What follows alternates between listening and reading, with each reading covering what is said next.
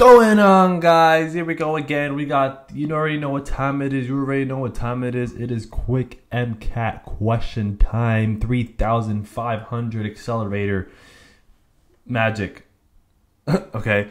And the the whole thing I just said. Okay, that's the title of what we're doing here. All right, but anyways, I'm not going to repeat the whole thing, but what we're doing okay, we're, we're doing here is we're going through MCAT questions as quick as possible because these Discrete questions should not take too much of your time. They should not.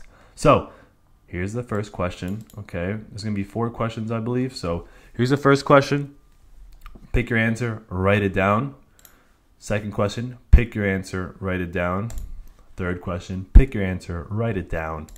Fourth question, pick your answer and write it down. These are the CP section questions here. Hopefully you guys get them all right. See where you went right, see where you went wrong. Let's do this now. Okay. Electronegativity, electron affinity, and ionization energy all increase across a periodic table row and decrease down a periodic table group. Why does acidity not follow this trend? You guys should know the BEAR mnemonic. B, E, A, R, basicity, electron affinity, ionization energy, electronegativity, acidity, atomic radius. Boom, is just like that, okay? They're saying that, you know, all these electron affinity, ionization energy, and electronegativity increases up and to the right. They're saying, hey, why does acidity not follow this trend? Okay, let's see why. Acidity relates to the ability of the nuclear protons to attract hydrogen atoms. No, no, no. No. Not the protons don't attract hydrogen atoms. That is not what happens. Acidity relates to the stability of the conjugate base, yes, and larger atoms form more stable conjugate bases even when they are less electronegative than smaller atoms. Correct. That is correct.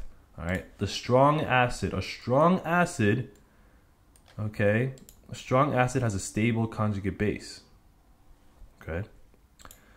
Acidity is not influenced by nuclear shielding and effective nuclear charge, while other trends are. It is influenced by those. Okay, remember, the easier it is to take. Look, think about it, guys. Think about this, all right? Let's say you're an atom. Let's say this is your nucleus, okay? And let's say here are your valence electrons flowing around. All right, the easier it is to remove this, the easier it is to remove that, the stronger the acid. Ba bam, ba bam, ba bam. Let's keep going.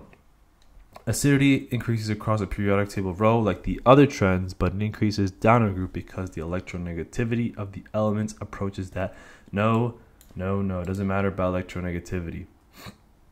Okay, it just matters how stable that conjugate base is. That's what makes a strong acid a strong acid. Okay, let's keep going. From one point in space, point S, to another point T, electric potential increases continuously from 100 volts to 200 volts. Which of the following must be true of the electric field near these two points? Okay, so they're telling us here's S and here's T. Okay, this one is at 100 volts, this one is at 200 volts. All right, we have a low electric potential, and here we have a high electric potential. Okay.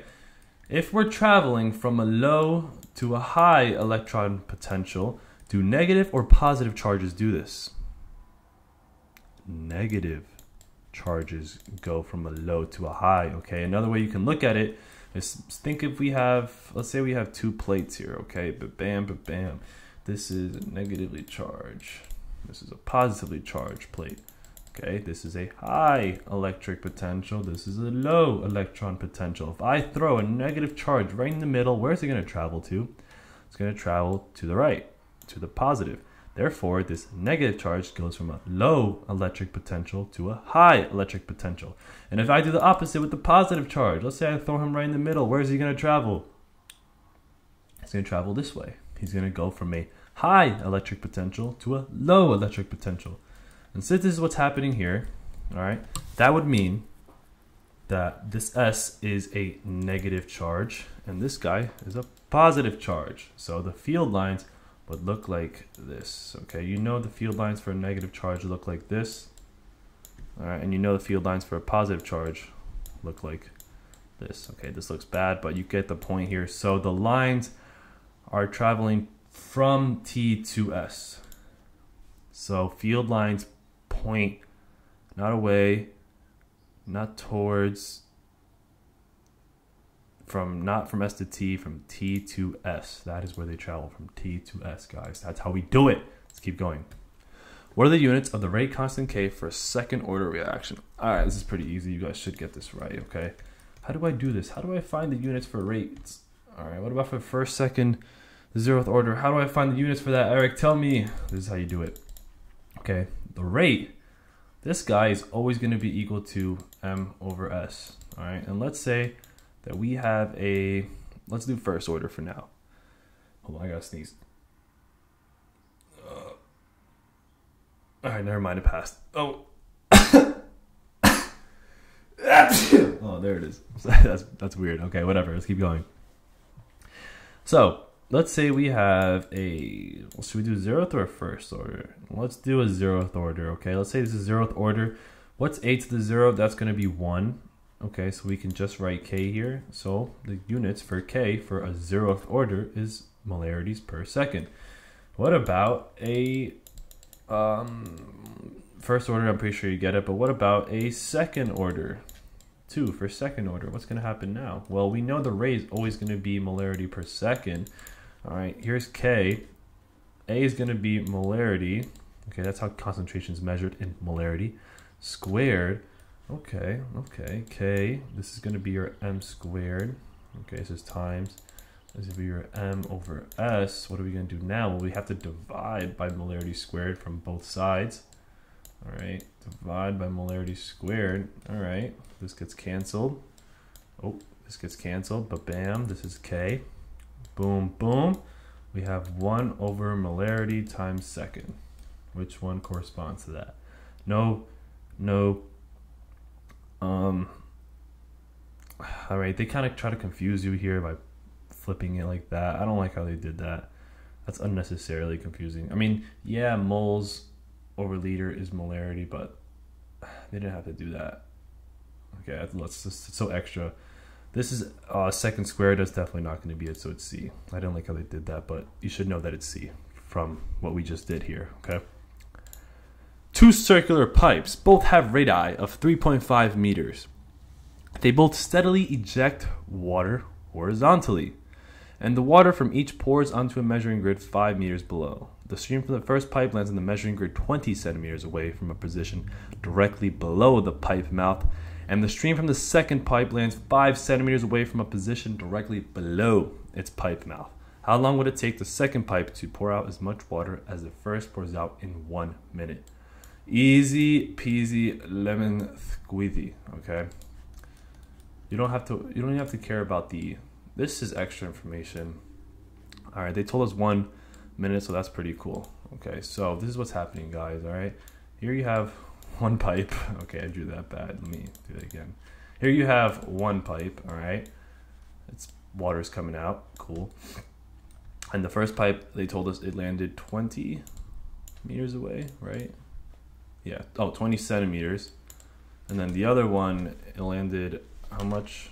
I think five centimeters away yeah, five centimeters away. So it's going horizontally, it lands five centimeters away. Because this one is flowing out at a faster rate than this one, okay, that's why it goes farther, because the water's flowing farther. The water's flowing faster, so it's flowing farther away. Okay, 20 centimeters.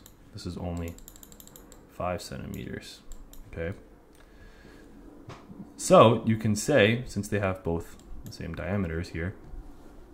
This one is flowing four times as fast as this guy. Four times as fast as five centimeters. So if it's flowing four times as fast, this would need four minutes to catch up to this. Okay? That's it. That's it. You don't have to, don't jump into equations right away, guys. Try to take a look, understand what the question's asking, and then make a decision. Hey, should I jump into equations or should I not? In this case, you did not have to. All right. So that's it for this video, guys. Hope you enjoyed another round of MCAT quick discrete question 5300 magic. All right, I'll see you guys in the next video. Join MCAT University.